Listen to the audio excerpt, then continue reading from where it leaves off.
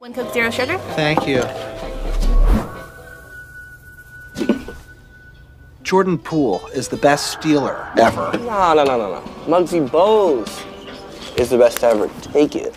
Huh. Dawn Staley, true pickpocket. Dawn Staley, best ever. She's no Tamika Catchings five-time Defensive Player of the Year. Hey, Tamika. I think you.